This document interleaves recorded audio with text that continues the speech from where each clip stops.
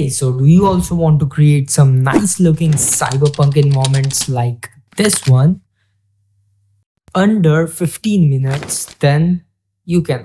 What? We're flying to Philadelphia. Oh, hell no! That's the Oh, hell no! Well, you cannot make it under 15 minutes, obviously, because it's gonna take minimum of 2-3 hours. But I can teach you all the techniques and all the things used in making of this cyberpunk environments under 20 minutes. So just make sure you watch this video till end and you're just gonna learn a lot of new things. So let's dive into the video. Now, the first thing to do is obviously the modeling. And if you know even a bit about modeling, then good. And if not, do not worry because I'm going to teach you some basics of modeling so that you can at least create some basic structures which are used in this environment. So without any delay, let's move into the Blender window. Now let me teach you modeling real quick. Select the cube, press tab to go into edit mode. Now look here. Here are three options with the vertex select, edge select and also the face select. The vertex select, you can select a vertex and move it or you can select multiple vertices and move it. Then we have we got edge select, you can select any edge and move it. The face select, you can select any face and move it. Now we got extrude, simply select the face and press E. You can do it with either edges or either vertices. And shortcut to switch between vertex, edge and face select is 1, 2 or 3. Now we got insert. Press I to insert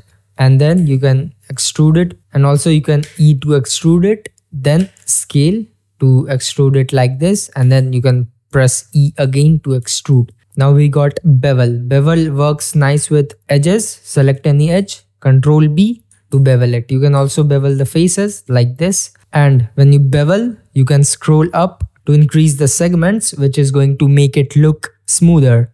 Now there is another interesting thing and that is booleans. And to do that in modifiers tab, we got booleans, but uh, it's a little lengthy process. So to make it easier, go to edit, preferences, add-ons, go to our add-ons and then search for bool tool and just activate it and save preferences. Now, uh, let's say, let's create a cube. Now let's scale it like this and make it like this. And now what I will do is select this one, shift select the object and press control and minus on your number pad. And now it's gonna create something kind of this shape. Now you can modify your cutter object as you want. And also you can add some bevel modifier on the cutter object and it's gonna create some interesting shapes like this. Increase the segments and yeah it's gonna work. And yes modifiers are also very helpful. Like let me show you. Let's create a plane. Let's add a solidify modifier. What this does is when you increase the thickness it's gonna create any it's gonna turn any 2d object into a 3d one and also you can apply a bevel modifier or also you can apply uh, an array modifier. Array modifier just duplicates the thing. And let me teach you two more things. That is loop cuts and extrude along normals. So like in edit mode if i press ctrl r you will get something highlighted like this. And then when you left click you can hover and select the placement. And like if i want it here i will just left click and it'll be applied. And now uh, let, let's go to face select by pressing 3 select this one shift select all these. And now i will if i press simply e it's gonna be like this. So what i will do is press alt e and then extrude faces along normals. And yes it works well and now since we have learned modeling, let's implement those things that we just learned and let's make a real environment with it. Now in this whole process, I will be showing you the speed modeling, but do not worry, I will be explaining all the things and I won't be using anything new. Whatever I taught you just now, I'm just gonna use these those things only. So let's do this. I started with some rough block out of the surface as well as the base of the building and then I just created some cubes which I will later turn them into buildings.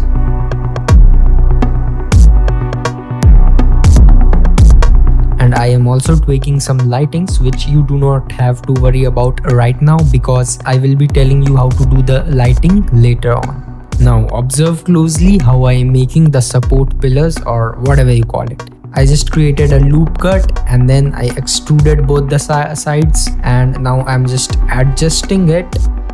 Few more extrudings and then beveling one side.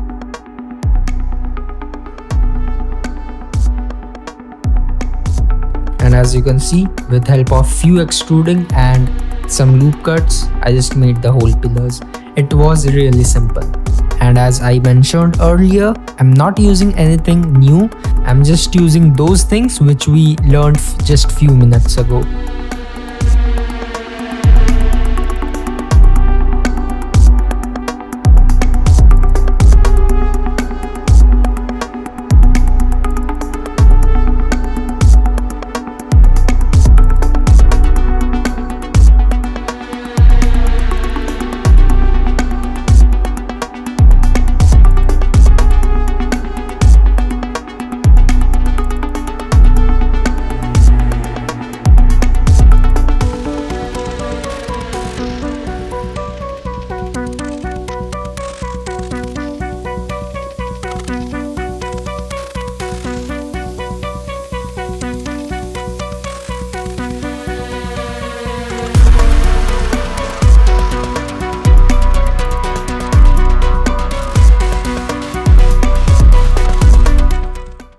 So that was the end of the modeling part. Now it's time to move to the next and also a very crucial part called the lighting.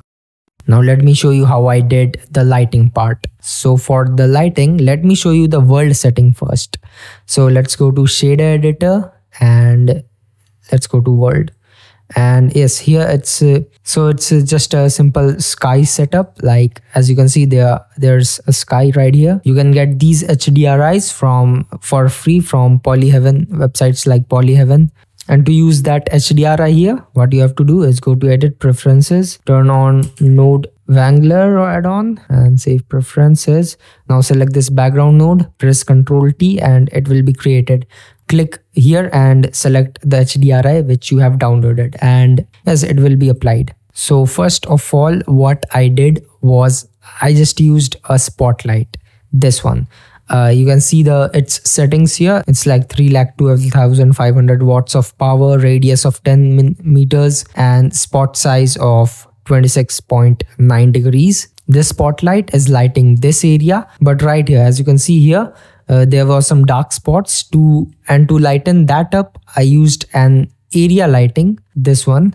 I'm i'm not creating all those lightings again. I'm just breaking it down for you. Uh, you can just easily create these by pressing shift a and go to light either point sun spot or area. I will, i'll be mainly using spotlights and area lights. So this area light you can see its settings here. Then i also use another light this one to lighten up the ground. And these ones are just as you can see i just had added a light here. So this area lighting was just doing that lighting up this area.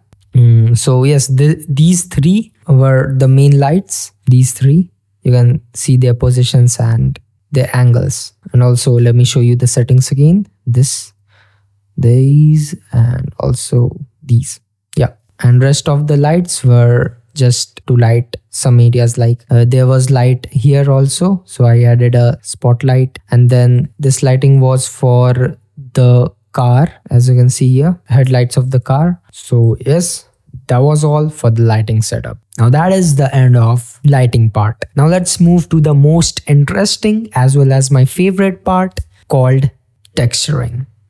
So to start the texturing process let's bring this up and let's go to shade editor. First i will texture this thing. Now i will press new. And now first you have to download some textures. Uh, and you can easily do that by going to websites like either Poly Haven or ambientCG so in this one i just want this to be plaster texture. So what i will do is i will search here for plaster. Okay i think this one i like this one. This one should work or maybe this one. Let's use this one first. Let's download both. I'll go with the JPEG format. So now let's extract both of these and we are gonna get some files like these inside it. Let's go back to Blender now. Let's go to edit preferences, add-ons and turn on node wrangler add-on just check this and save preferences select this principal bsdf and press ctrl shift and T on your keyboard. Now navigate to the folder where you have saved the texture files. So first I will use this plaster texture. So press A to select everything and click this option. Easy. Uh, now it's applied but it's looking bad. So to fix that, let's press tab, press A, press U, unwrap cube projection. And now let's set this scale to something like 2 or maybe 3 yes i think 3 should, will work. To fix the, these uh, noise kind of thing uh, you have to go to this displacement and simply reduce the scale. You can keep it like 0.2 or 3 and let's also reduce these normals like this much. So now I will use the second texture which I have downloaded. So let's add a mix shader node. Let's put it here. Let's add a mix color node this time and just put it here. And let's bring it here, release it, search for principal BSDF. Now press Ctrl Shift T and let's go to the second texture that we downloaded. Select all, do the same and yes uh, connect this displacement to this mix color node. Let's keep it like this and let's download another texture now. This time i will go for this one. Let's download it. Let's put it here and let's duplicate it by pressing shift d and keep it here.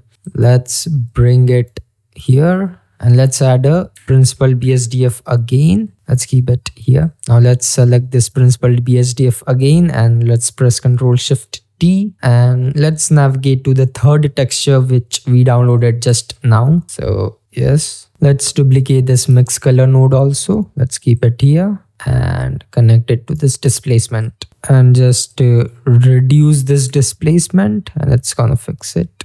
Now I will do some texture painting. So to do that, I will create a new image node, image texture node and simply connect it to this mix shader as well as this mix of this one. Uh, not this one. We have to connect it with this one. Let's press new, name it mask or whatever you want. Let's multiply this value by 2. We, we are going to use 2k textures and press new.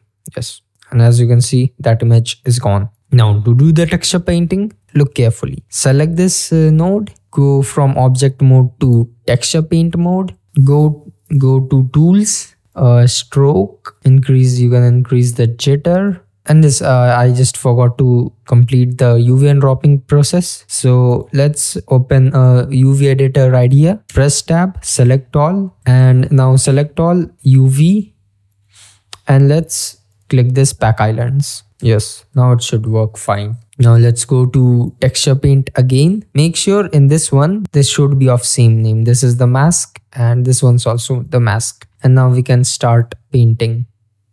Remember now right now white color is selected. So white's gonna make it visible and when you press X and switch it to black color, you can erase it. So yes, this is how it works. Paint this much. Let's decrease the opacity. Let's increase the brush size by pressing F. Now let's paint it like this.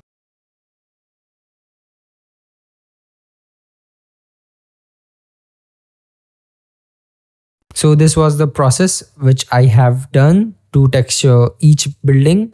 And if you want like a shutter here, like it's gonna be a shop so let's make a shutter in this one. So i will go to face select. Let's select this one. Let's press new new select the second material and press assign. Now a new material is created for this face. So in this case i'm going to use this image. So let's drag it here in this window let's connect it to base color and it's gonna be something like this. To fix that, uh, go to UV editor. Let's press tab, keep this face selected. And now here you can align this cube to this shutter. Like, let's uh, keep this thing right here.